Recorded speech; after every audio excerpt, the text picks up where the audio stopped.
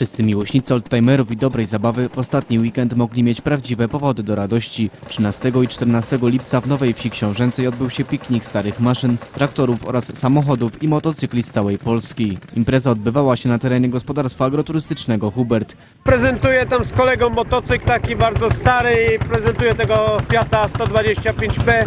W bardzo dobrym stanie jest technicznym. No stan tak jak widać to tam pan redaktor sobie obejrzy bliżej.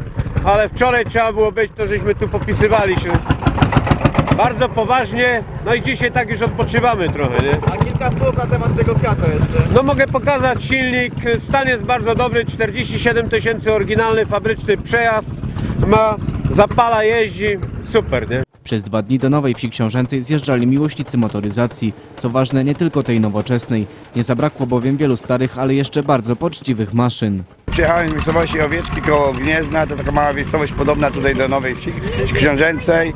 Przywiozłem na, na wystawę Lance Bulldoga 45 z roku 400. E, Proszę parę słów o tej maszynie właśnie jeszcze. E, maszyna ta jest wyprodukowana przez e, firmę niemiecką Lance Bulldog.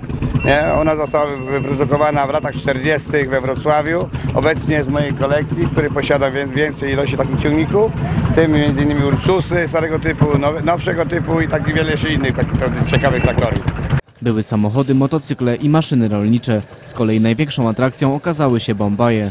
Jestem kolekcjonerem traktorów i remontujemy te traktory, przyjeżdżamy na takie zloty, imprezy robimy, także mam tam kolegów swoich z Preszewa, także jesteśmy tutaj całą, całą rodziną. Piknik wystartował w sobotę o godzinie 9. Gwiazdą pierwszego dnia był Andrzej Cierniewski. Z kolei na niedzielę zaplanowano m.in. konkurs odpalania bombajów, wręczenie pucharów i nagród. Przywiozłem DKW NZ 350 przez 1 z 1944 roku. Motocykl był robiony tylko dla Wehrmachtu. Organizatorzy pikniku zapewnili duży wachlarz gastronomiczny z kuchnią regionalną, a impreza zakończyła się zabawą taneczną do białego rana.